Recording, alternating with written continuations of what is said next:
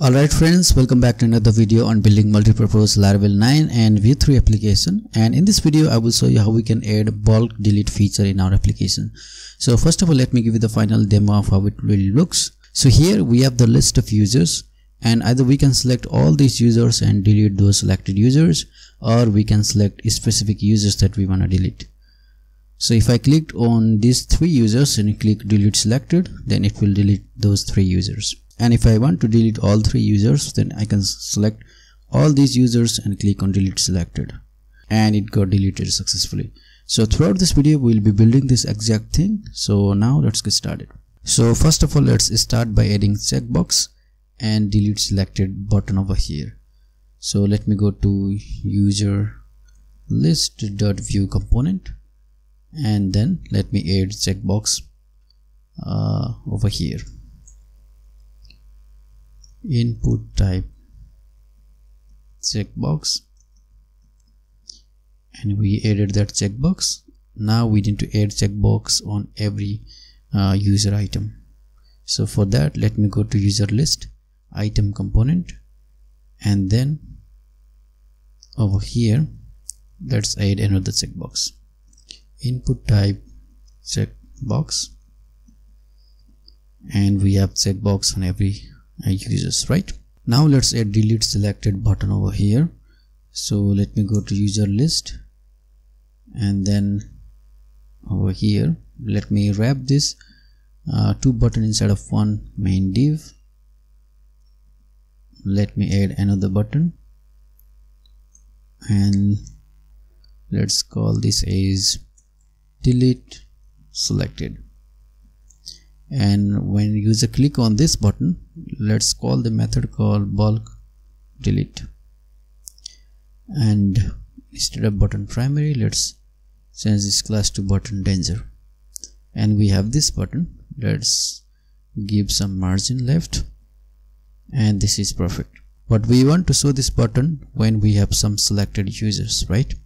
Otherwise we'll not be showing this button. So let's do that part let me go to user list item over here. And over here let's listen for the change event and call the method called toggle selection. And let's define this method. Toggle selection. And inside this method let's emit the event called toggle selection. And let's pass the user from props.user but uh, we do not have that props defined so let's define that. Which is perfect. Now we need to listen to that event called toggle selection right? And in our parent component we have this and we need to listen for toggle selection and call the method called toggle selection okay now let's create that method over here. Toggle selection will receive the user and inside this we'll perform the operation. First of all let's define the state called selected users and let's make this as empty array. And from here we can push the selected users to this uh, state. So for that we can do selected users.value as we are using reactive reference and then push user.id now let me do console.log and then selected users.value so let me show you something. Let me open up the console and let me clear this. Now if I click on this checkbox we have the selected ID which is 106 if I click another one we have this another ID but if I click again then we are having some repeated ID right? So let's make this unique. So for that we need to add conditional. So let's define the index. And over here let's do selected users dot value and find the index of the user ID so first of all let's find the index of this user id from selected users. And then we can add if conditional over here. If the there is no index found if we do not find that id then we'll be pushing uh, id to the selected user's value. Push user id otherwise uh, we need to remove that id if already exists so we can do selected users dot value. Let's call this splice method. And we want to remove this index and one item right? Now let me remove this and then refresh it again. Let me click on this checkbox 106 we have another id but if i uncheck it then that id got removed which is perfect and we need to show this delete selected button uh, when we have some selected users right? So for that we can add a conditional for delete uh, selected button over here. You can do v if selected users dot length is greater than zero. Now uh, we do not have that button but if I uh, select this user then we saw this delete selected button which is perfect. Now we need to listen for that uh, click event on this button and perform the axios request. So we have already listened for the click event and let's define that bulk delete button over here. Const bulk delete and inside this we'll perform the axios call. So let's do axios dot delete and the endpoint is api slash users. We haven't defined this endpoint. We'll define that endpoint. And we'll pass the data.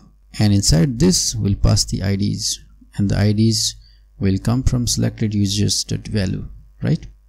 And let's add the then block. Then we'll receive the response. And for now let's do alert deleted. Now let's define this endpoint. Let me go to web.php file route delete slash api slash users and user controller class call the bulk delete method on it.